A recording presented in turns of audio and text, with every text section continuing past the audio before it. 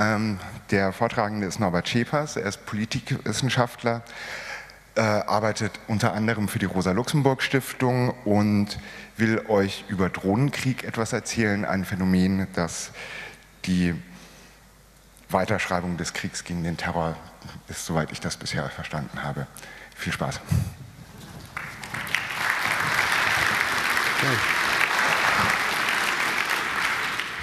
Ja, herzlichen Dank. Bin ich gut zu hören? Okay, guten Abend auch von mir. Ich freue mich, dass doch trotz Julian Assange äh, so viele den Weg hierher gefunden haben. Mein Thema ist äh, eine Einführung in das Phänomen der Drohnenkriege. Das ist ähm, die Konzeption gewesen, zu sagen, es gibt eine Kriegsführung, die etabliert ist mittlerweile als eine eigene, ja, eine eigene Form von Kriegsführung.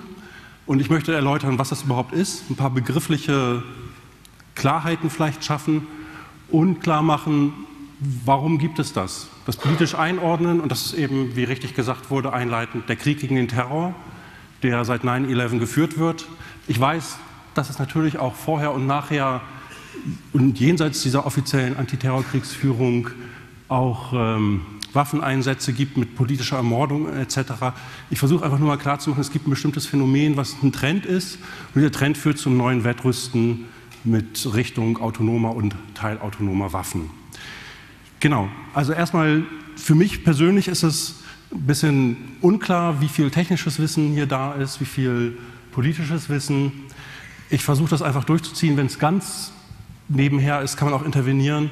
And it's possible to do interventions in English, uh, but uh, we do the talk in German. Okay. Ähm, Drohnen Drohnen ist das Schlagwort für unbemannte Flugkörper, die ferngesteuert sind. Das sind keine Roboter, die eben eine eigene, teilweise autonome Intelligenz haben oder quasi Intelligenz, die eben selbst Handlungen durchführen können, sondern die Drohnen, die eben besonders bei der Kriegsführung im Kampf gegen den Terror bekannt geworden sind, sind eben wirklich Dinger, die weitestgehend wirklich jede Bewegung durch einen Piloten der ferngesteuert, zum Teil halb um den Globus rum, ähm, die, also das, wo diese Handlungen ähm, eben von den Piloten ausgelöst werden. Und das ist eben der Unterschied zu dem, wo man auch drüber redet und was in der Entwicklung ist, dass man ähm, zukünftige Waffensysteme hat, die wirklich Roboter sind, die eben teilweise autonom einzelne Handlungen durchführen können, bis hin eben zu Tötungen, die dann von dem System entschieden werden. Die Unterscheidung ist wichtig, weil eben oft gesagt wird, töten per Joystick. Ähm, das meint eben genau, dass da Leute sitzen, die nicht mehr in Kampfgebieten sind. Es ist aber eben noch nicht das, worüber auch eben geredet und was eben der Trend der Zukunft ist, um den es mir auch geht. Es sind noch nicht die Roboter, die jetzt ähm, ja, in der Entwicklung sind. Das sind jetzt wirklich ferngesteuerte Geschichten, die da fliegen. Ich beginne mal gerne mit diesem Bild, vielleicht kennen das auch einige schon. Das ist das häufigste Bild, wenn man Drohne auf Englisch googelt.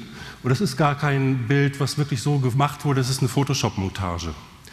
Weil ne, den Drohnenkrieg, den gibt es in der Form seit 2002. Da wurde zum ersten Mal eine Hinrichtungsaktion mit genau so einer Drohne wie hier, mit so einer Hellfire-Rakete dran, durchgeführt im Jemen. Es war völlig verdeckt. Es wurde behauptet, dass das jemenitische Militär das war. Und ähm, das ist charakteristisch für den größten Teil der Zeit, wo es diese Art von Kriegsführung gibt, dass man darüber nicht redet, dass, wenn lokale Quellen das aufdecken, und das war in jedem der Fall, dass ähm, lokale Journalisten die Teile gefunden haben und sagen, das ist gar nicht jemenitisches Militär gewesen, dass das überhaupt weder noch dementiert noch kommentiert wurde von dem US-Militär, was eben eng im Jemen mit den äh, offiziellen Sicherheitskräften zusammenarbeitet. So haben wir mehrere Jahre einen Schattenkrieg und erst in den letzten drei Jahren ist überhaupt diese Frage des Drohnenkrieges ähm, ja, ins Licht der Öffentlichkeit geraten. Und der Auslöser ist tatsächlich zum einen die Tötung eines US-Bürgers im Jemen, Anwar Avlaki, und zum anderen der US-Wahlkampf, in dem das dann offensiv ab einem bestimmten Punkt auch von Präsident Obama thematisiert wurde. Dass man das macht, aber immer unter dem, was dann auch im Laufe dieses Jahres im Mai gesagt wurde bei einer großen sicherheitspolitischen Rede, man hat da eine Kriegsführung, die man unter strenge Aufsicht stellt, die sehr präzise ist und dass man die eben auch nicht extensiv einnutzt, äh, einsetzt, sondern man genau gucken würde. Da komme ich nochmal drauf zurück. aber Sie ahnen schon oder ihr ahnt schon, dass das eben nicht so glorreich ist, wie das generell gesehen wird. Drohnen selbst sind Waffensysteme, das sind keine Waffen selbst, sondern die schießen eben Raketen ab.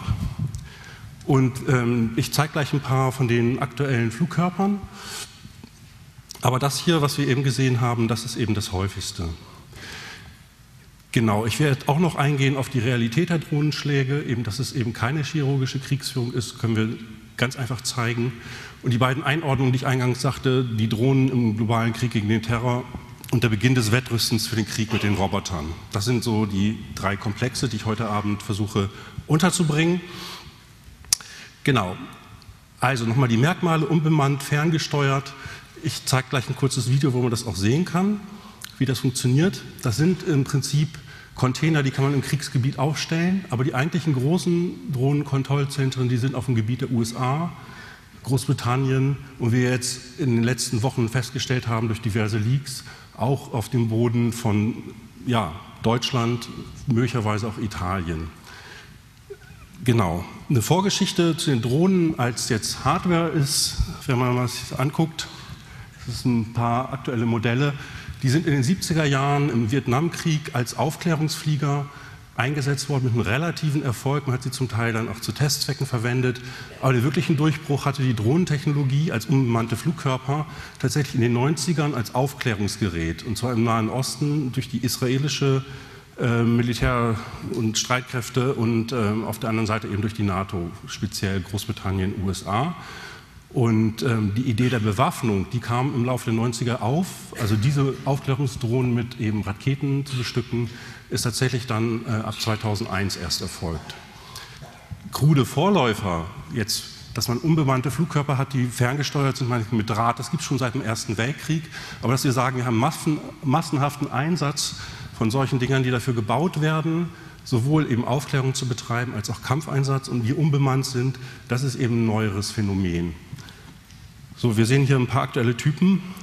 Den Predator, das ist das ursprüngliche häufigste Modell und das ist auch das, was zum ersten Mal eingesetzt wurde. Der Mensch, der das äh, vorgeschlagen hat, die Dinger zu bewaffnen, also zumindest von dem, was man weiß, vielleicht gibt es die Idee auch schon länger, aber ähm, der hieß Kofor Black, der war der Chef der Einheit im US-Militär oder im Geheimdienst, die ähm, den Bin Laden gejagt haben vor 9-11. Und tragischerweise hat er eben genau das Modell gehabt, weil man den so schlecht bekommt in entlegenen Gegenden, dass man so eine Drohne mit einer Hellfire-Rakete ausrüstet und ihn jagt. Da werde ich nochmal darauf eingehen gleich, aber das ist genau ein Punkt gewesen, wo man vor solchen Einsätzen noch zurückgestreckt hat in den 90er Jahren und was dann eben mit dieser Zäsur 9-11 sich geändert hat, wo es einen Willen gab, genau solche Tötungsoperationen durchzuführen im größeren Maße als bisher. Ich zeige ein kurzes Video vom Hersteller von Northrop Gunman. Jetzt war ich zu schnell, Entschuldigung. Da. Kurzer Eindruck reicht. Geht darum, das sind Propellerflugzeuge. Das sind noch keine Düsenjäger, das ist nicht besonders Advanced Technology in dem Sinne, wir haben da Science-Fiction-Modelle rumfliegen. Das ist natürlich fortgeschrittene Technologie von allem, was da drin ist. Also das ist das Beste, was es an Überwachungstechnik gibt. Und wir sehen die Kuppel unterhalb der Reaper-Drohne. Da ist ein Kamerasystem drin, was eben relativ hochauflösend ist. Es sind verschiedene Kameras. Und dafür haben die so Gorgon, Gorgon Stare als äh, so einen ähm, ja, Markennamen geprägt. Man hat damit eben so eine Weitwinkelperspektive und kann sehr genau drunter gucken. Die fliegen halt nicht so besonders hoch in den Einsatzgebieten und filmen und filmen und filmen. Die Kombination ist jetzt, seitdem sie bewaffnet sind, ist wirklich, die fliegen auch Erkundungseinsätze in bestimmten Gegenden, die sozusagen Hotspots des Terrors sind, wie bestimmte Jemen, Regionen in Jemen, Somalia. Und wir haben dann ähm, zum Teil eben Einsätze, die dann aus dieser Überwachungssituation heraus äh, erfolgen. Ja, das ist irgendwie ähm, auch eine besondere Lage für die Zivilbevölkerung, da wo die eben in großer Menge Patrouillenflüge machen und Überwachung. Das ist eben auch Pakistan bekannt geworden, also Nordpakistan, Waziristan. Es gibt so eine Stammeszone, die eben auch vom Westen abgeschirmt ist und vom Rest des Landes. Rückzugsgebiet der Taliban, da fliegen die täglich rum über vielen Städten. Und dann hört man genau immer das Sirren dieser Propeller und irgendwann wird geschossen. Das ist also wirklich auch eine Form von Kriegsführung, die dann auch ohne dass geschossen wird, schon Terror für die Zivilbevölkerung darstellt. Wir haben noch so ein Herstellervideo.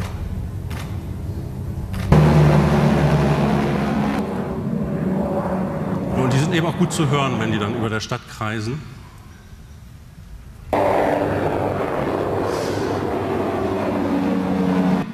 Das ist die Reaper, wie gesagt. Das ist die Weiterentwicklung der Predator-Drohne. Die Namen sind eben auch schon angsteinjagend, wie Waffenhersteller das manchmal gerne machen. Reaper heißt, ähm, das ist der Sensenmann. Ja, und das hat er sozusagen hier realisiert mit vier Hellfire-Raketen.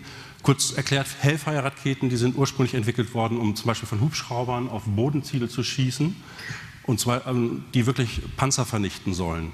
Damit wird dann auf zivile Ziele geschossen auf Terrorverdächtige. Das ist das, was die Drohnenschläge ausmacht. Damit wird auf Menschen geschossen, die eben nicht in Kampfsituationen sich befinden, sondern meinetwegen in irgendeinem Konvoi mit irgendwelchen Trucks übers Land fahren. Oder es wird eben auf Menschen geschossen, wo man sagt, den haben wir lange genug hinterher spioniert, der ist irgendwie Nummer 22 der Operatives in, von Al-Qaida im Jemen und den wollen wir weghaben. Das sind die beiden großen Einsatzgebiete. Das Video hatten wir schon. Das, das hier macht nochmal deutlich, das ist auch Herstellerpropaganda. Die macht nochmal deutlich, wie das funktioniert.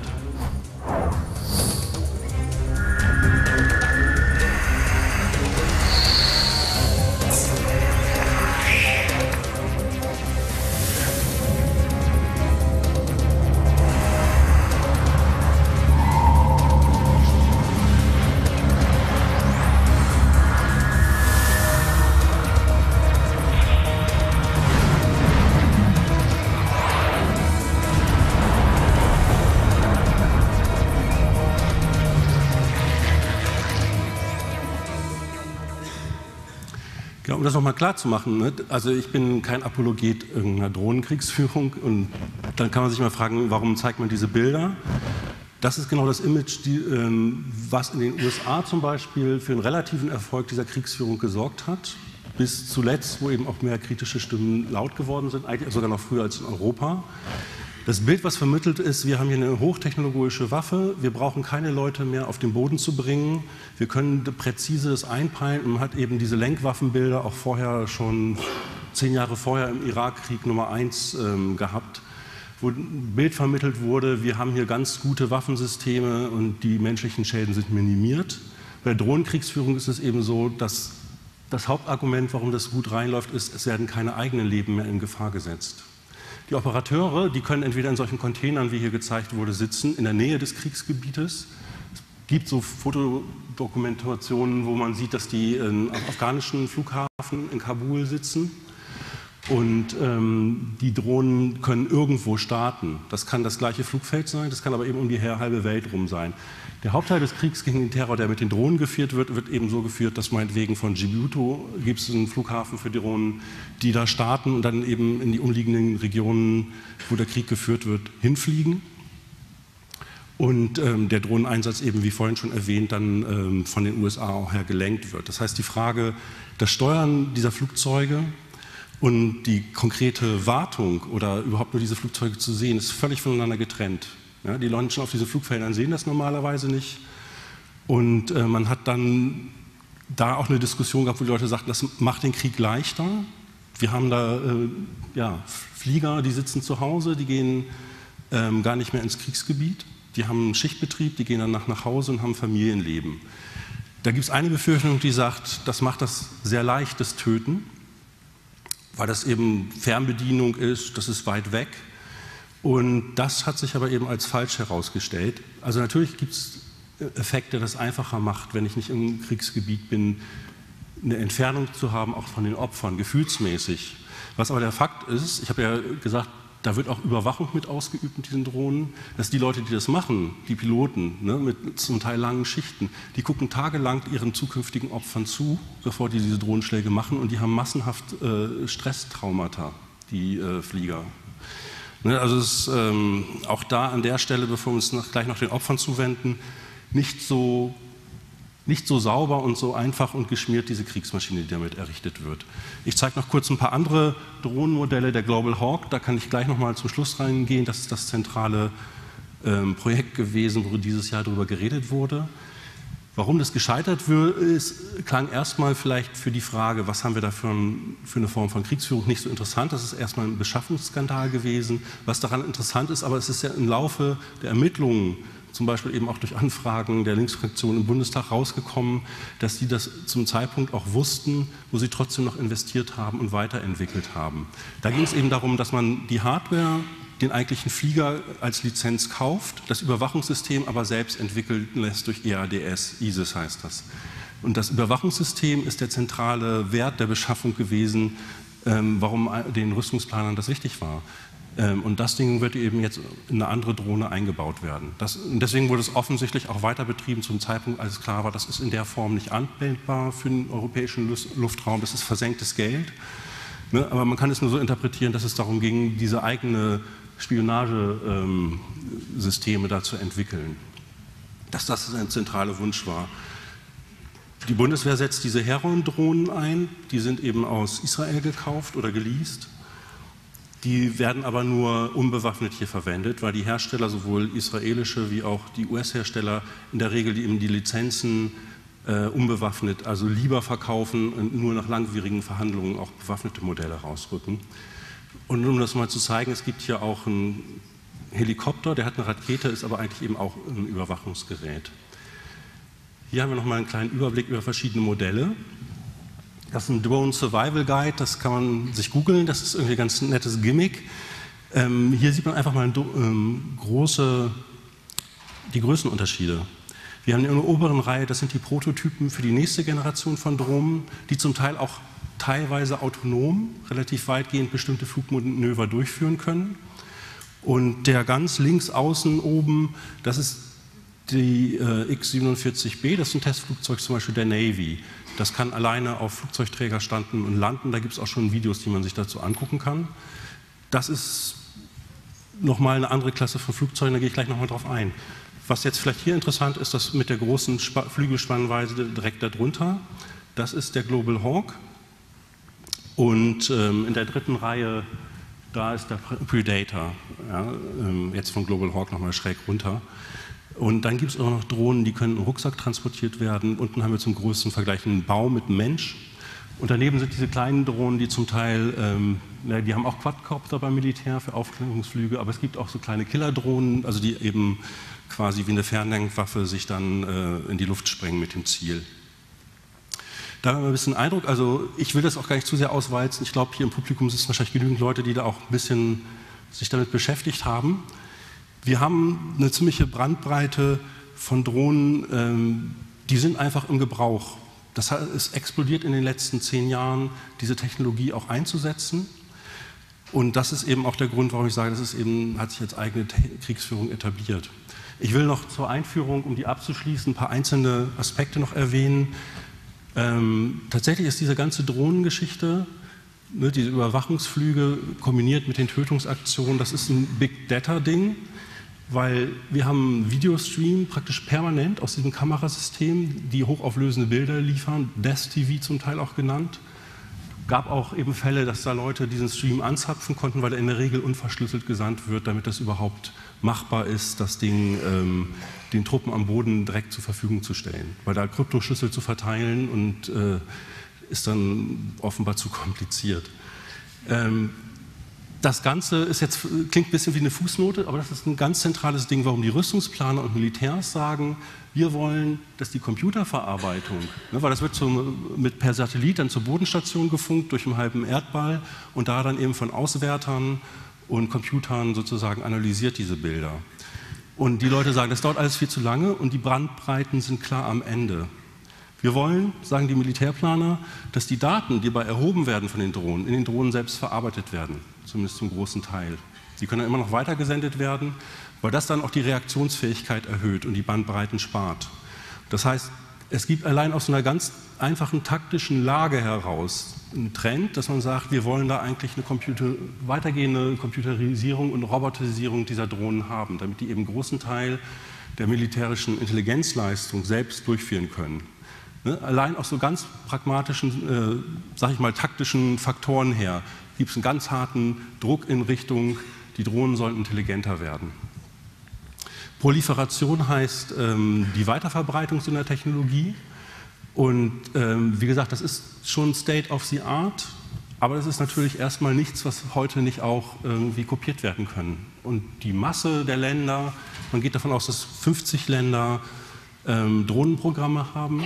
Bewaffnete Drohnen, die auch wirklich im Einsatz sind, sind eben deutlich weniger. Weil ein ganz bestimmter Punkt, den habe ich vielleicht noch nicht deutlich genug gesagt, diese Drohnen sind natürlich ein Mittel für asymmetrische Kriegsführung. Was ist asymmetrische Kriegsführung? Ich habe ein Kampfgebiet, in das ich reinfliegen kann, uncontested airspace, sagen die Militärs, und da kann ich rumfliegen. Das schießt in der Regel niemand ab. Ne, weil selbst meinetwegen, was äh, irgendwie bewaffnete Guerilla-Gruppen haben an Flugabwehrsachen, die haben eine gewisse Höhengrenze. Für kriegerische Auseinandersetzungen zwischen Staaten taugt das Ding nicht, weil das haben auch, glaube ich, die Iraner mal gemacht, da haben die halt ein Kampfjet hingeschickt, das vom Himmel geputzt und fertig. Die Eskalation aus einer Sicht von, von Militärs ist dann eben zu sagen, okay, wenn ich, ich brauche schnellere Dinger, ich brauche Tarnkappendinger, wenn ich das mal gegen andere bewaffnete oder hochgerüstete Staaten einsetzen will. Und diese Prototypen, die wir da gesehen haben, ne, die obere Reihe, das sind alles Stealth-Bomber. Ne, das ist eben der nächste Schritt vom Wettrüsten. Ich habe Stealth-Bomber, also habe ich natürlich irgendwie von Militärseite aus ähm, als ein Land, was sich gegen solche Stealth-Bomber verteidigen will, ein Bedürfnis, Roboterflieger zu haben, die diese Stealth-Bomber vom Himmel holen können. Das heißt, ich brauche dann eben auch eine Roboterisierung von Fliegern, die die abschießen können und das heißt eben in Sekundenbruchteil auch reagieren zu können. Also auch da gibt es sozusagen von der taktischen Lage her, die sich aus dem Drohnengebrauch ergibt, was noch überhaupt keine Roboter sind, aber ne, aus militärplanerischer Sicht ein Drang, irgendwie zu sagen, wir wollen Roboter am Himmel haben, damit wir die Dinger vom Himmel holen können. Ne, das ist sozusagen die Logik, die in so einer Eskalation Wettrüsten drin liegt. Gut. Ähm, die europäische Rüstung, wir hatten gerade einen EU-Gipfel, die sich genau damit beschäftigt haben. Das ist immer ein bisschen wolkig. Ich will das jetzt nicht zu sehr ausführen. Es gibt halt den Versuch, das auf dem parlamentarischen Weg auch ein bisschen mehr zu erklären, zu klären, was die Bundesregierung da eigentlich genau beabsichtigt. Die europäischen Interessen sind immer nicht gleich. Aber es gibt eben eine längere Debatte, die eben auch von der praktisch ja, der Vizechefin der EU, der Lady Ashton, vorangetrieben wurde. Das ist eben die hohe Kommissarin für ähm, Sicherheit und Militär und ähm, die auch diesen diplomatischen Dienst aufbaut. Und da wurde gesagt, wir haben, sind eigentlich nur Konkurrenz, konkurrenzfähig als EU, wenn wir da wirklich unsere Rüstungsbemühungen zusammenlaufen lassen. Was wir im Moment haben, sind parallele Drohnenprogramme, also solche Technologieerkundungen wie mit den Dingern da oben sowohl von Frankreich wie auch Großbritannien und bestimmten Konsortien parallel. Und das ist eben der Versuch, sich auf ein europäisches Drohnensystem zu einigen. Genau. Das Entscheidende ist für mich natürlich irgendwie saubere Kriegsführung, die Sicht der Opfer dem entgegenzustellen. Vielleicht schon einigen bekannt, ich möchte aber trotzdem ein kurzes Video schildern, was die Auswirkungen dieser Kriegsführung in Pakistan, in einem der Hotspots des Kriegs gegen den Terror, eben in dieser Vaterzone zeigt. Das Video ist auf Englisch, weil die deutsche Übersetzung schlecht ist. Ähm, das ist sozusagen jetzt entgegen der Sprachrichtung hier. Ich hoffe, das geht irgendwie klar, sonst mache ich noch mal hinten dran eine kurze Zusammenfassung, falls das gewünscht wird. Genau, ich zeige das aber erstmal.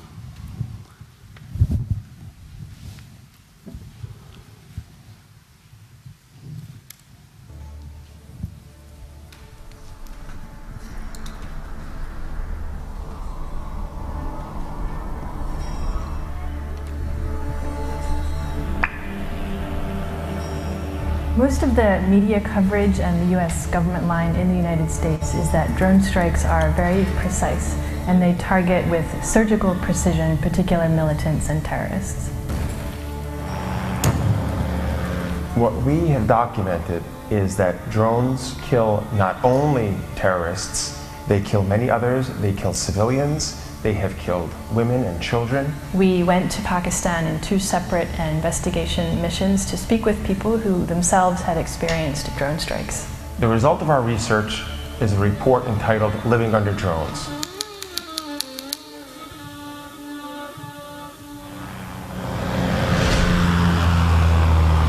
We were particularly concerned about drones because our own government is involved in using drones and we believe there has not been adequate oversight of the use of drones and the basis for deciding who gets killed, where, and when.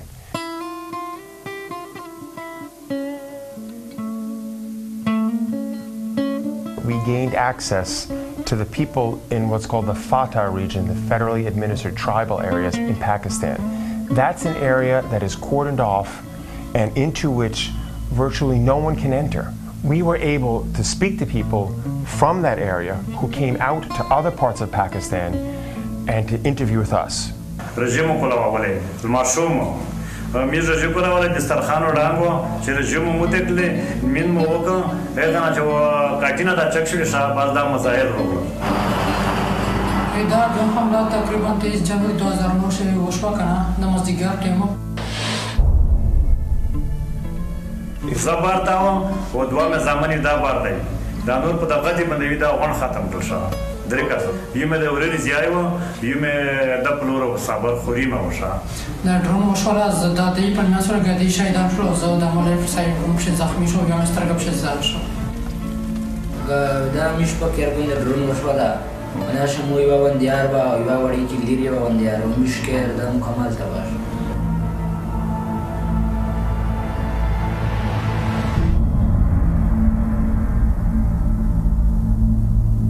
one of the things we found is that there are entire communities who live in areas where drones are flying overhead 24 hours a day, seven days a week at times. And these people don't know when those drones will strike. They don't know who they will strike.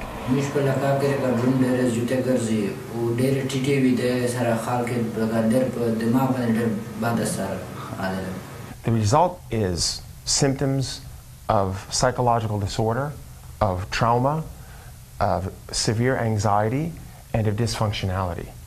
We heard stories of people who won't leave their houses.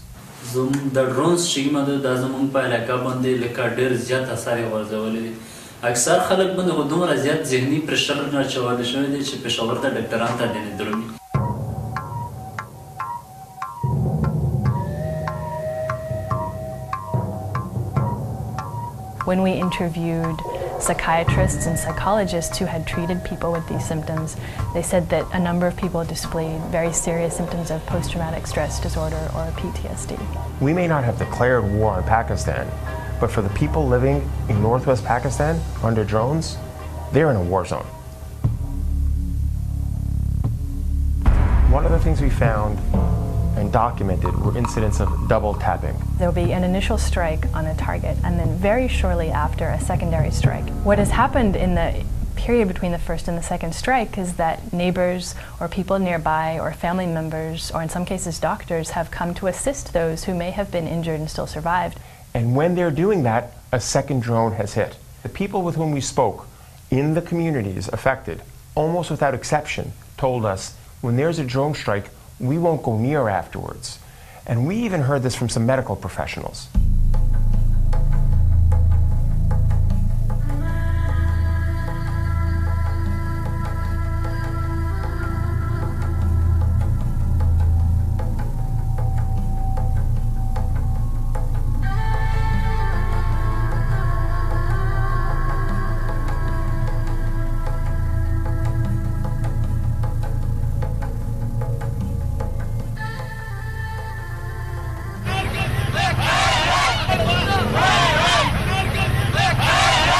It has made people extremely angry at the United States. The New York Times recently uh, classified drones in a piece as the new Guantanamo, the new recruiting tool for Al Qaeda.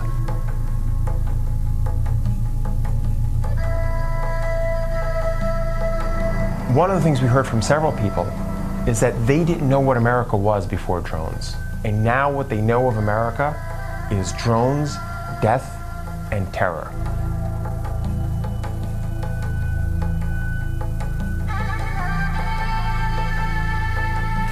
موږ ته پته نه لګي چې د ډرون حملې کوي خو بس امریکایي کوي او بس مسلمان ختم کوي One person we interviewed asked me, Do American people know what these drone strikes are doing? Do American people know the strikes are killing civilians here?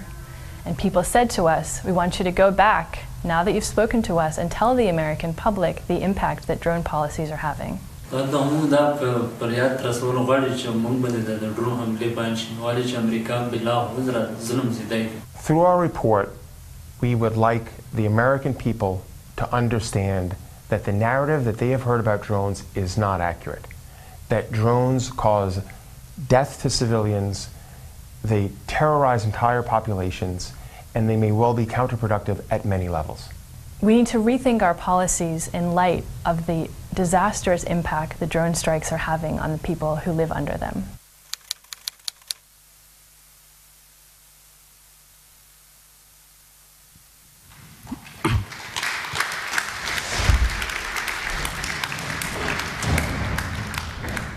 Genau, ich finde auch, der Film hat Applaus verdient. Das ist eine Studie, die dem zugrunde liegt, das wurde erwähnt. Da sind eben Leute hingefahren und haben die äh, Menschen aus der Vaterzone, die eben abgeschirmt ist, außerhalb getroffen und ähm, das gemacht, was in der Regel in, genau in diesem Krieg zu kurz kommt, nämlich dass die Opfer eine Stimme bekommen. Deswegen zeige ich das gern, obwohl das jetzt vom letzten Jahr ist und ähm, vielleicht nicht mehr ganz neu. Da war eine Quelle eingeblendet, das Büro für investigativen Journalismus, die sitzen in London, soviel ich weiß. Das sind eben Journalisten, die sich zusammengeschlossen haben mit lokalen Journalisten, eben das dokumentieren. Es gibt auch ein Instagram-Projekt, die dann eben von den Orten Google-Bilder zeigen, Google Maps-Bilder, wo diese Drohnenschläge gewesen sind, um ihm überhaupt ein Gesicht zu geben. Dass das überhaupt so stark in der Debatte ist, das ist ja wirklich neu. Ne? Also vor 2010 ist da überhaupt nicht drüber geredet worden. Wie gesagt, warum gibt es das? Der Krieg gegen den Terror. Darauf wollte ich jetzt gleich kommen. Eine Unterscheidung noch vorweg, die eben auch gleich eine Rolle spielt. Es gibt zwei Arten, wenn man das einteilen will, ganz grob von diesen Drohnenschlägen. Das eine sind die Signature Strikes, das andere sind eben Personality Strikes, werden die manchmal genannt. Das ist das Targeted Killings. Muss man klar zu machen, es geht hier um Terrorverdächtige.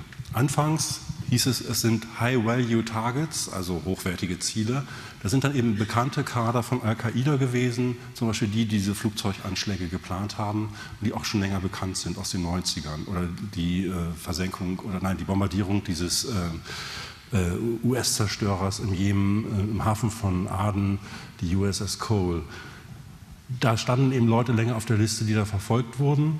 Und die sind natürlich auch Ziele gewesen wo man sagt, die sind des Terrors verdächtig, wir werden der nicht anders habhaft, wir schicken dann eine Drohne oder eben andere Mittel von Sondereinsatzkommandos.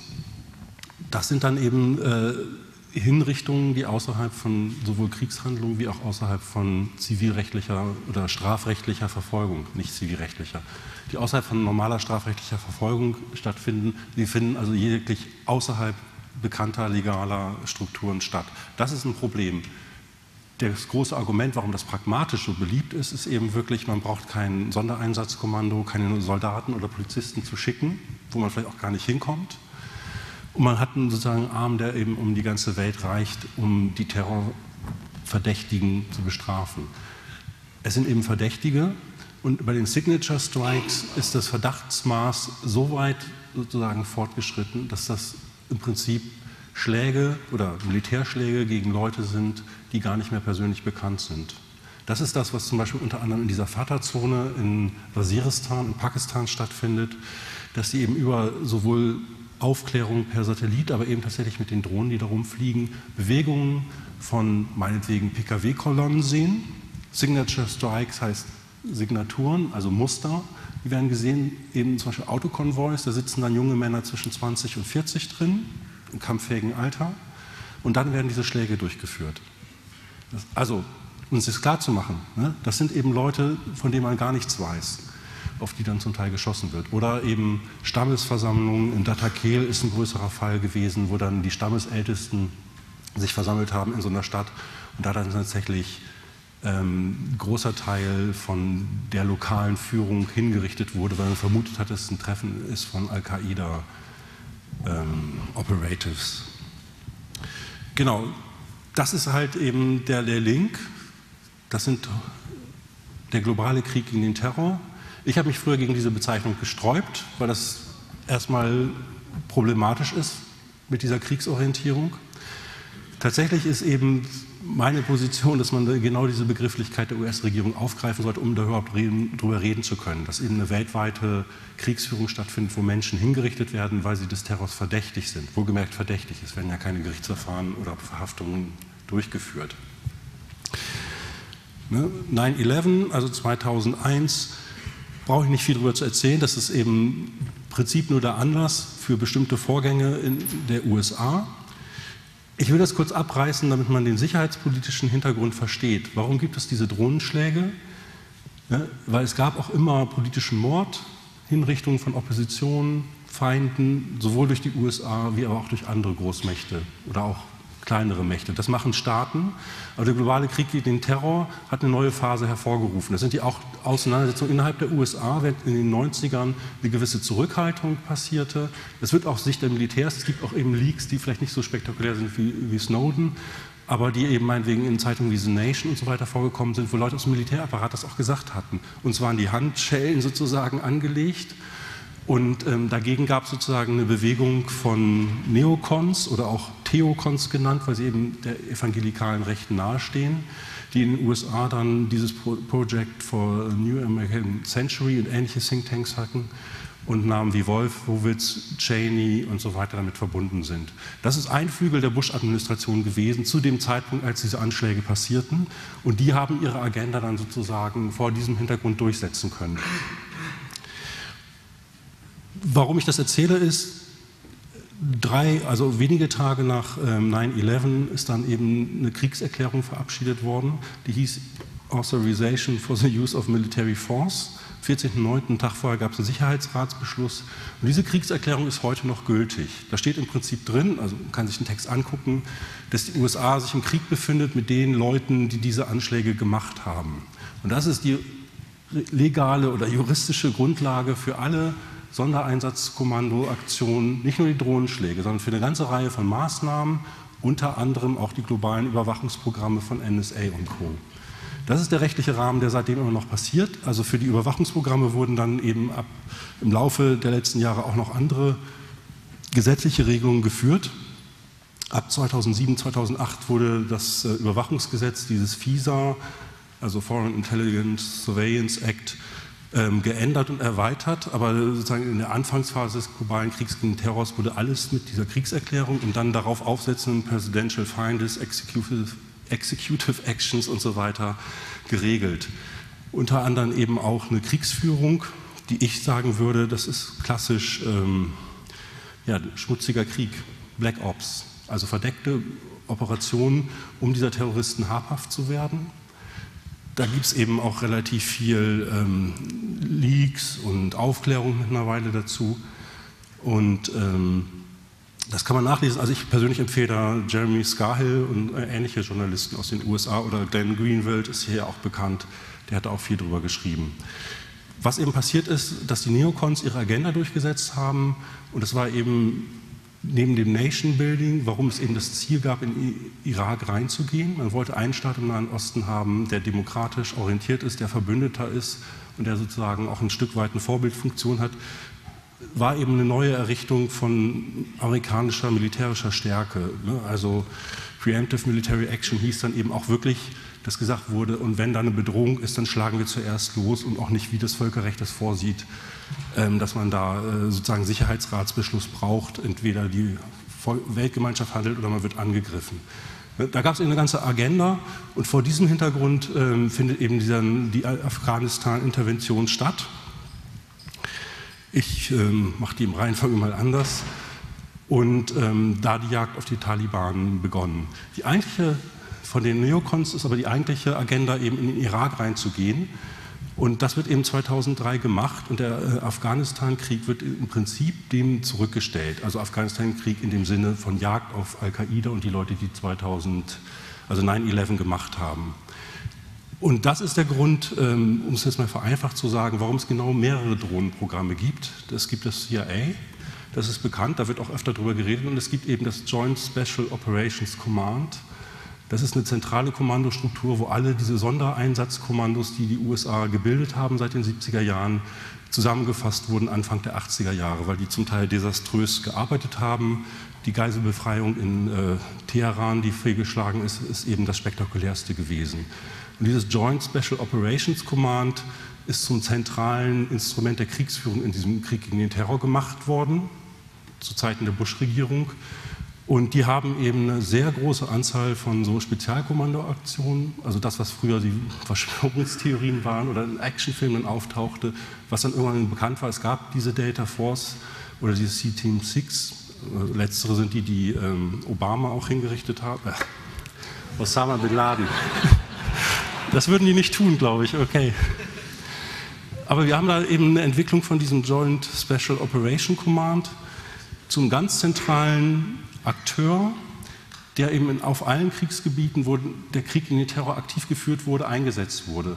Und als der Irakkrieg dann sozusagen runtergefahren wurde durch den Präsidentenwechsel zu Obama hin, da, ne, und das hat Obama damals auch wirklich als Programm ausgegeben, wir beenden den Krieg in Irak, der war ein Fehler, der hat nicht der Jagd nach Terroristen gedient, das war ein Abenteuer von seinem Vorgänger und hat ihm die Entscheidung immer auch vor, also er hat im Prinzip im Wahlkampf gesagt, wir gehen nach Afghanistan rein und machen den Job zu Ende. Und das haben sie versucht. Und auch genau da wie im Irak ist es da eben zum ganz heftigen Einsatz von diesen Spezialkommandos gekommen.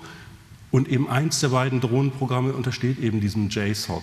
So, ne, damit ist das eine Einordnung für mich zumindest klar. Äh, wir haben die Drohnenkriege oder diese Drohnenschläge nicht als eine für sich isolierte Sache zu sehen, die wegen der Technik kommt, sondern weil es eine Kriegsführung gibt und weltweit eben Terrorverdächtige von diesen Sondereinsatzkommandos gejagt werden. Bei der Erneuerung dieses Afghanistan-Kriegs ist es auch zu schrecklichen Vorkommnissen gekommen. Da ist, also, es gab sozusagen landesweit, da in der Hochzeit täglich also mehrere nächtliche Einsätze, wo sie hingegangen sind. Sie hatten irgendeine Information, in diesem Haus sind irgendwelche Taliban oder Al-Qaida-Leute, sind reingegangen und haben zum Teil dann Unschuldige oder eben auch ihre eigenen Verbündeten erschossen, weil das wirklich solche Kommandos eben den Finger an dem Abdrücker haben und nicht viel fragen. Das sind eben so genannte Kill- und Capture-Operationen. Und da, wo eben diese Spezialkommandos nicht mehr mitgekommen sind oder, ne, oder eben als Ergänzung dazu, ist der Drohnenkrieg entstanden.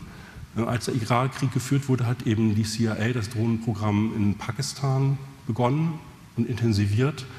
Ähm, und so kann man dann den ganzen endlosen Krieg gegen den Terror übersehen, wie das sozusagen ein Zusammenspiel ist und eine Frage von, wo sind jeweils Hotspots ähm, und wo äh, wird welcher Teil dieses Militärapparats, den man da neu oder erneuert oder umgebaut geschaffen hat, eingesetzt. Ähm, Obama steht eben auch dafür, dass er das unglaublichen Maße intensiviert hat, die Benutzung dieses Drohnenprogramms weil genau da eben die Erfahrung drinsteckt, dass man mit den Truppen am Boden im Irak nichts erreicht hat und in weniger als einem Jahr eine Aufstandssituation hatte, die hoffnungslos war für die Besatzungsmacht. Deswegen gibt es eben genau diese ganze verstärkte Drohnenschlagsgeschichte und man weiß es vom ersten Jahr der Obama-Administration, dass sie da ähm, ein Vielfaches an Drohnenschlägen gegenüber der Bush-Administration schon hatten. Genau, ich hoffe, dass dieser Ausflug zum Krieg gegen den Terror reicht soweit, um sich das klar zu machen. Dieses Joint Special Operation Command ist ein bisschen mehr in den letzten Jahren eben auch durch bestimmte Leaks in, in Blickpunkt gekommen, zumindest in der US-Debatte. Ähm, und jetzt aktuell wird die Debatte geführt. Also letztes Jahr hieß es, wir wollen diese beiden Drohnenprogramme und diese ganzen Sachen stärker zusammenfassen. Das soll zum Militär gehen, aber da gibt es wohl juristische Schwierigkeiten. Dass, ähm, also dieser Übergang, der stockt noch. Was aber bekannt ist, das kennt ihr vielleicht aus den Medien als Terror Tuesday, dass Obama dann eben im Wechsel zu Bush die Verantwortung für diese Schläge persönlich übernommen hat, zumindest für diese Personality Strikes. Es gibt diese Runden im Weißen Haus, wo diese Terrorprofile vorgelegt werden und die Entscheidungen tatsächlich eben von so einer kleinen Runde gefällt werden unter Beteiligung des Präsidenten. Das ist wohl der Wunsch eben genau von diesem Verfassungsjuristen Obama, das irgendwie zu ordnen, das ganze Verfahren ähm, und da auch persönlich Verantwortung zu übernehmen. Das macht das aber natürlich umso gruseliger. In diesen ganzen Debatten ist letztes Jahr im Oktober auch bekannt geworden, dass sie da nochmal sozusagen informationstechnisch auf der Seite wohl irgendwelche Datenbanken haben, wo sie die ganzen Kill-or-Capture-Lists, die ja durch den Drohnenkrieg ja eine wirkliche Kill-List geworden sind, zusammengeführt äh, haben in etwas, was Disposition Metrics heißt. Also Disposition ist etwas loswerden, ne, wie Müll.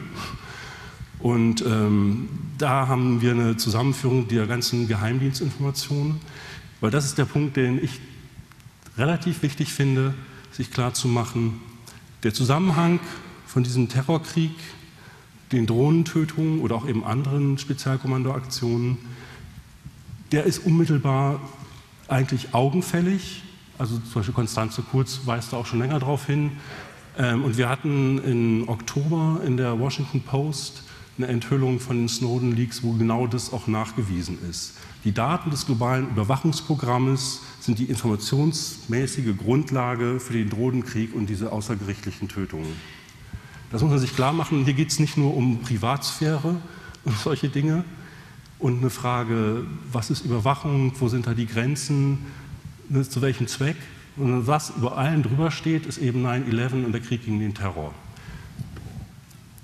So, in der Debatte ähm, über den Drohnenkrieg sind das hier so die typischen Schlagworte, also außergerichtliche Tötungen oder rechtfertigbare Ermordungen. Ähm, das sind genau die Probleme, wo man sagt, warum kann man sowas überhaupt machen?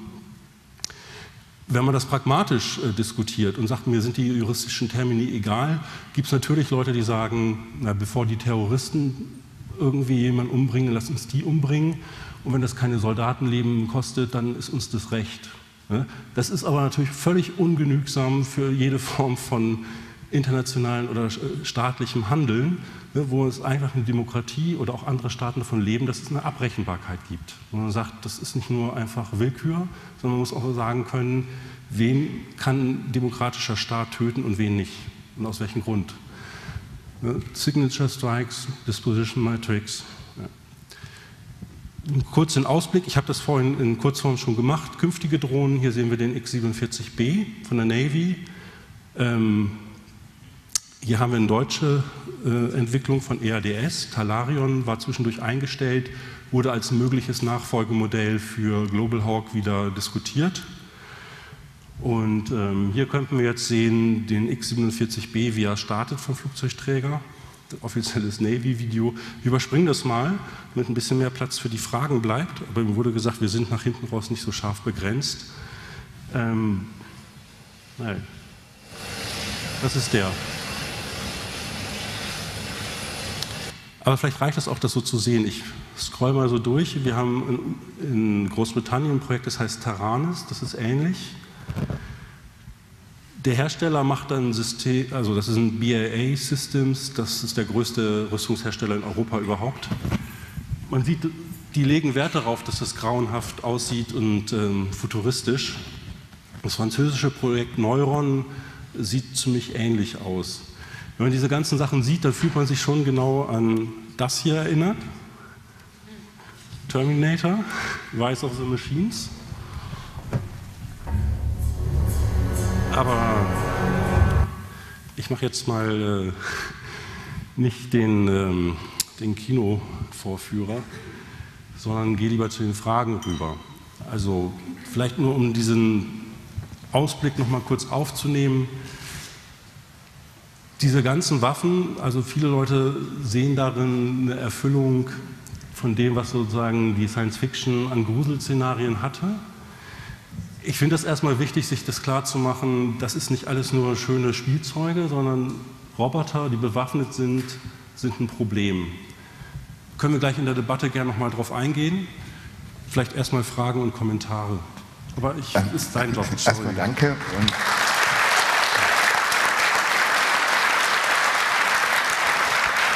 danke. Und noch ein Hinweis an den Stream, den ich vorhin vergessen habe. Natürlich haben wir einen Signal Angel. Ihr könnt auch da Fragen stellen im Internet, aber zunächst einmal hier vorne im Saal. Du darfst eine Frage stellen.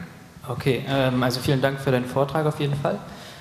Ähm, ich habe eine Frage, die hat eher so ein bisschen eine technische, aber auch eine politische Dimension und äh, ich fasse erstmal kurz zusammen. Äh, was genau an den Drohnen ist jetzt eigentlich die neue Qualität in der Kriegsführung oder in äh, den Aktionen, die wir da beobachten können? Aber ich äh, versuche das nochmal kurz zu erläutern, damit äh, klar ist, worauf ich hinaus will.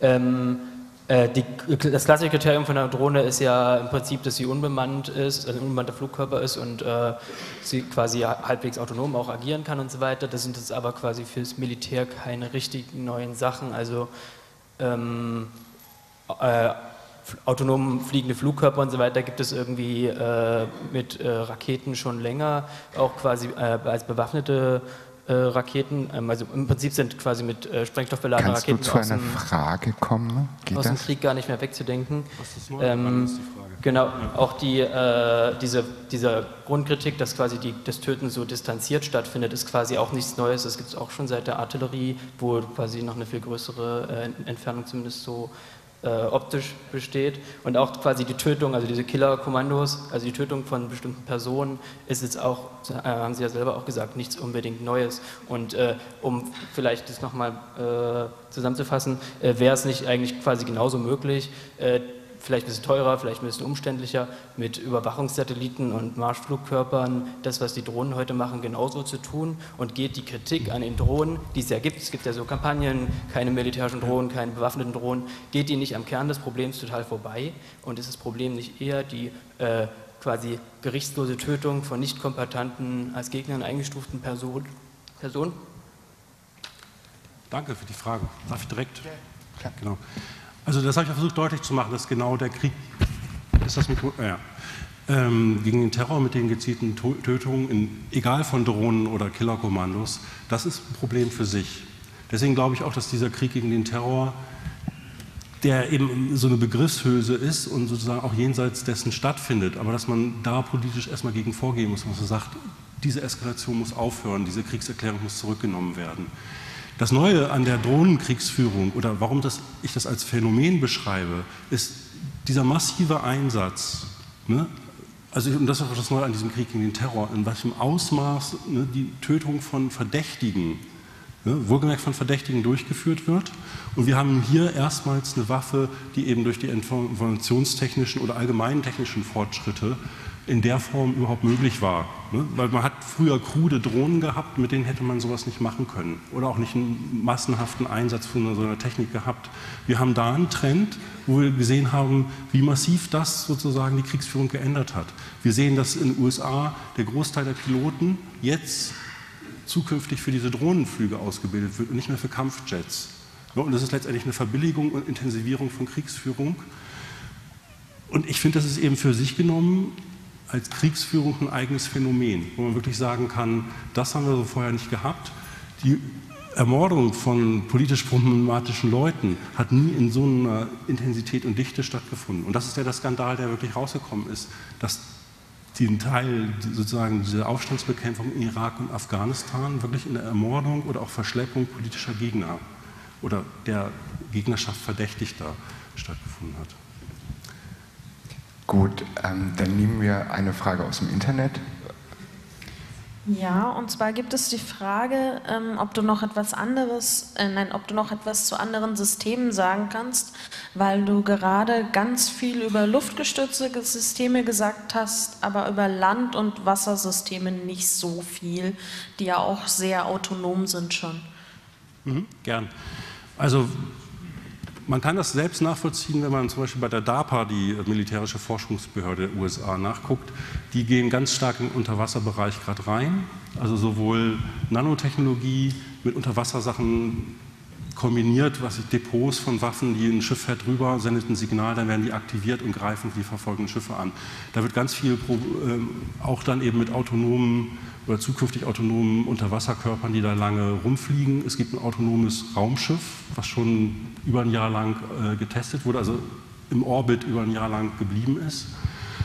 Und was wir haben, äh, die Bodenroboter, Boston Dynamics ist von Google gerade gekauft worden. Die haben mehrere Roboter hergestellt, speziell fürs Militär, also Prototypen. Da kann man in den Videos sehen, die auch frei zirkulieren. Die können laufen wie Lebewesen. Ne? Die können getreten werden, stolpern, ausrutschen auf Eis. Irgendwie, die richten sich mal wieder auf. Und das sind Systeme, die dann meinetwegen die Lasten tragen. Und es gibt eben Systeme, die sind im Irak auch schon zum Einsatz gekommen. Ähm, das sind so kleine Roboter auf Ketten, die fahren um die Ecke und gucken, ob da feindliches Feuer ist und ziehen das auf sich oder äh, können auch schießen. Ähm, wobei das sind erst noch Prototypen. Wirklich im Einsatz ist eine inner, äh, innerkoreanischen Grenze so ein Schießroboter, der offenbar eben auch selbstständig Leute erfasst und schießt, wenn sie eben in diese Todeszone zwischen den beiden Staaten reingehen. Also das ist sozusagen ein paralleler Trend.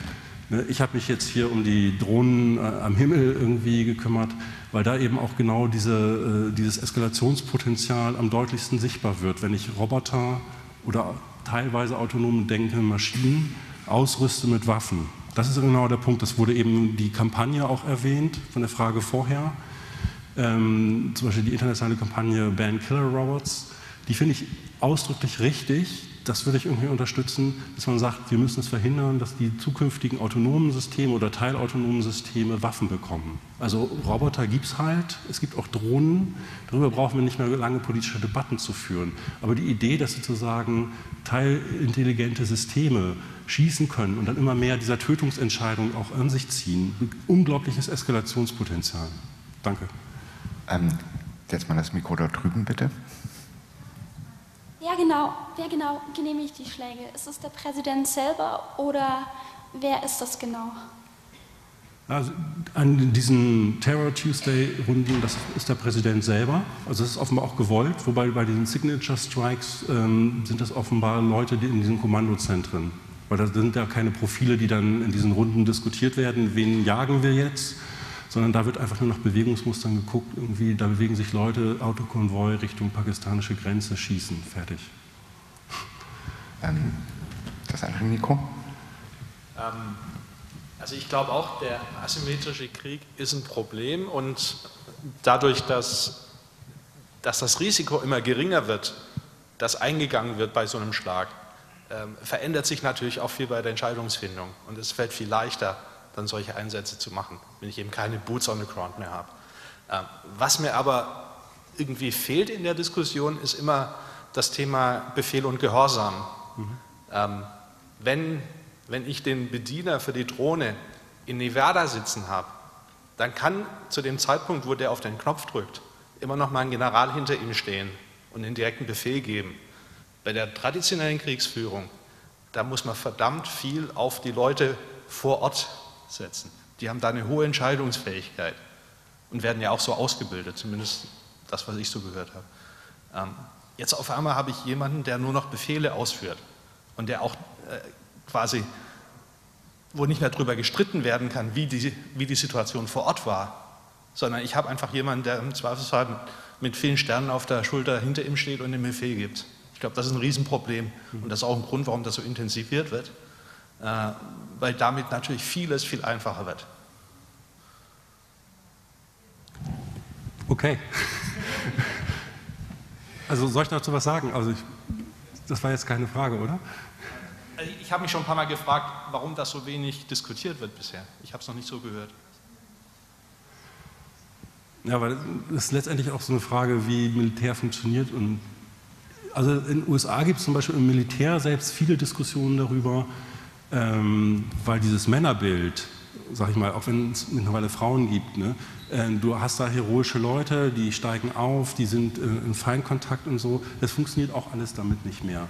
Deswegen, ähm, das wird nicht weggehen, dass du auch andere Situationen hast. Ne? Ich, ähm, ich glaube, nur mit verstärktem Einsatz von solchen Technologien wirst du auch Situationen haben, wo einfach niemand mehr da steht. Weil diese Drohnencontainer, diese Steuerungsmodule, wo du die Leute sitzen sitzt, da steht nicht immer jemand dahinter. Die sind halt zu zweit, die bewachen sich faktisch auch gegenseitig. Ähm, und da sind natürlich, ne, wenn eine Überwachungssituation ist und da sieht man irgendwas, da steht nicht jemand immer und sagt, schieß, ne, sondern die haben so einen Einsatzplan und die machen das dann irgendwann. Also ich glaube, das ist noch nicht ganz so klar in die Richtung entwickelt, aber ich finde den Gedanken richtig, den du prinzipiell sagst. Also ich, ich glaube, damit wird ein Stück weit so eine moralbasierte Entscheidung, auch mal einen Befehl zu verweigern, äh, rausgenommen aus dem Spiel. Aber dass Leute im Feld sind und massenhaft äh, Tötungseinsätze verweigern, das ist mir jetzt auch nicht so bekannt. Also meistens verweigern die sich, wenn die ankommen, also vor dem Flughafen oder nachher, aber also man kriegt das auch nicht mit. Also ich bin, bin, mir nicht sicher, ob du das nicht zu optimistisch siehst, dass die Leute äh, das Schießen sein lassen, wenn sie erstmal in Schutzgraben sind, wo keiner mehr zuguckt. Gut, die nächste Frage aus dem Internet, bitte. Ähm, ja, die ist auch aus dem IRC. Und zwar, was für Betriebssysteme laufen denn auf Drohnen und ist das freie Software? Muss ich passen. Ich glaube, Frage an den Saal, weiß das jemand? Das weiß anscheinend niemand so wirklich, aber ähm, vorhin gab es einen Talk zumindest zu zivilen Drohnen ne? und ähm, das meiste, was kommerziell angeboten wird, scheint nicht frei zu sein. Also ähm, es gibt Open Source Drohnenprojekte, aber die sind nicht sehr groß. Also nur kurz, ne? ich meine, das, wir reden über Militär und das sind eben Hersteller, die ein Riesengeld mitmachen und die machen in der Regel kein einziges Stück frei. Also die benutzen vielleicht freie Software, aber das, was sie produzieren, ist in der Regel nicht Open Source, weil da eben das Verdienstmodell dem nicht wirklich da zusammenpasst. Und natürlich das Bedürfnis nach Geheimhaltung etc. Gut, jetzt wieder eine Frage hier vorne am Mikro. Ähm, es ist natürlich schön für das US-Militär, dass es diese asymmetrische Kriegsführung gibt. Nur ähm, gibt es da vielleicht auch mal äh, Überlegungen des US-Militärs, dass das vielleicht auch gegen sie verwendet werden kann? Nämlich so eine Drohne zu bauen, also zum Beispiel so einen Ultraleichtflieger oder so eine Drohne aus dem Baumarkt umzubauen und vielleicht auch mal äh, gegen Zielpersonen der USA einzusetzen. Also ich meine, was hindert eigentlich jemanden daran, so in 10 Kilometer Entfernung von dem Weißen Haus so eine Drohne zu starten und dann, die auch relativ schlecht detektierbar ist, dann auch vielleicht zum Beispiel gegen den Präsidenten einzusetzen. Ich meine, das ist ja, es ist ja eigentlich eine Waffe, die man, äh, die sehr schlecht auch zum Beispiel identifizierbar ist das heißt, man weiß nicht, wer dieses Ding geschickt hat, wenn es zum Beispiel auch selbst gebaut ist. Und äh, gibt es da eigentlich irgendwelche Ideen des Militärs, dass sie sagen, äh, das kann auch gegen uns verwendet werden oder das können auch andere Staaten gegen uns einsetzen? Klar, das ist genau ein Teil dieser Eskalationsspirale. Das ist dem bewusst. Das findet ja statt, das ist Proliferation. Also Iran hat zum Beispiel eben auch Drohnen abgefangen, gekapert und baut jetzt oder hat ein eigenes System gebaut, das ist noch kruder, aber das fliegt Ne? Und man kann diese Technologie nachbauen, wenn man ein bisschen Geld hat. Das ist nicht so teuer, das ist billiger als Kampfjets. Das ist dem bewusst und deswegen wollen die die nächste Stufe haben, die die Dinger irgendwie auch wieder vom Himmel holt. Das ist, das ist Wettrüsten. Und es hat begonnen. Das ist meine These. Ähm, ich sehe gerade, dass im Internet keine Frage mehr offen ist. Dann die nächste hier vorne am Mikro, bitte. Ja, ich habe eigentlich drei Fragen, wenn es erlaubt ist. Also einmal, wir haben ja in dem Film gehört von dem First und Second Strike, wenn der Doctors come help, nee, jetzt habe ich Deutsch und Englisch, also den ersten und zweiten Angriff, wenn beim zweiten Angriff die Doktor oder Sanitäter helfen, äh, dass da nochmal geschossen wird. Da würde mich interessieren, ob es eine offizielle Begründung gibt, weil das kann man ja nicht mehr mit Terror begründen, sage ich mal. Dann würde mich interessieren, warum die Region Waziristan abgeschirmt ist und ob sich die pakistanische Regierung nicht dagegen wehren kann, dass da auf ihrem Gebiet eine fremde Macht einfach so rumballert und ihre Bevölkerung abschießt. Danke. Ähm, dieses Double Tapping, wie die das genannt haben, das ist, kommt aus der Guerilla-Kriegsführung. Also die Guerillas lauern militärischen Konvoi meinetwegen auf. Es wird einmal geschossen, die Leute kommen raus, ob nun so, egal wer, ne? und gucken, was los ist. Und dann kannst du sozusagen die Leute nochmal leichter abschießen. Das ist sozusagen hinterhältige Kriegsführung. Das kommt schon aus der asymmetrischen Kriegsführung und wird jetzt vom Militär selbst eingesetzt. Anders ist es nicht interpretierbar. Das wird natürlich nicht kommentiert. Also die tun auch die meisten Drohnenschläge nicht kommentieren. Das ist eher die Ausnahme. Und Pakistan ähm, ist ein kompliziertes Thema insofern, dass die eben enger Verbündete der USA in diesem Antiterrorkrieg sind und gleichzeitig ähm, auch gegen sie agieren. Und das ist eben fragil. In Jemen ist das eben auch immer sehr schwierig gewesen. Ähm, das sind alles sozusagen enge Verbündete der USA, die kriegen unglaubliche Mengen an finanziellen Hilfen. Und ähm, die haben sozusagen selbst einen Konflikt mit den Dschihadisten. So. Auf der anderen Seite, ähm, also in Abbottabad war der Osama Bin Laden versteckt Und äh, vor Ort hat so ein Arzt, das ist in diesem Film Zero Dark Thirty auch von dem, was man weiß, so dokumentiert. Da gibt es einen Arzt, der ein Impfprogramm durchführt und ähm, der geht dann dahin, um zu versuchen, DNA zu bekommen, und weiß, ob da Osama bin Laden drin ist oder nicht in diesem Anwesen, wo er versteckt war. Der ist sofort danach verhaftet und auf unglaublich lange Zeit verknastet worden. Also das ist irgendwie nicht eindeutig die Rolle von Pakistan. Und es gibt eben naja, das ist da so gesagt worden. Die Leute äh, sind wirklich verärgert und verärgert einem sehr umfassenden Sinne über diese Form von Kriegsführung, die auf eigenem Gebiet stattfindet. Diese Fata oder Federal, also das ist eine föderale Zone sozusagen, ähm, die relativ weitgehende Autonomie hat, wo diese Stammesleute praktisch unter sich sind und es ist ein Rückzugsgebiet für die Taliban. So, deswegen sind natürlich nicht alle Taliban und man weiß das nicht. Ähm, und das ist klar, also das ist so ein bisschen, die Leute sollen und wollen unter sich bleiben. Das sind aber auch eben, da finden auch viele Militäroperationen des pakistanischen Militärs statt. Es gibt eben auch also ganz viele islamistische bewaffnete Gruppen innerhalb von Pakistan. Also die haben auch einen permanenten Bürgerkrieg da. Das macht die Lage eben so kompliziert. Also aus deren Sicht führen die einen Zwei-Fronten-Krieg. Und die Stimmung ist da auch schon mehrmals gekippt. Und jetzt äh, gibt es eben zum Beispiel diesen Imran Khan oder wie der heißt, ähm, der diese Proteste organisiert, wo die eben die NATO-Nachschubrouten äh, nach Afghanistan heben, mit unglaublich riesigen Demonstrationen mittlerweile blockieren, um eben deutlich zu machen, wir wollen diese Kriegsführung nicht. Danke. So, ähm, äh, vielen Dank.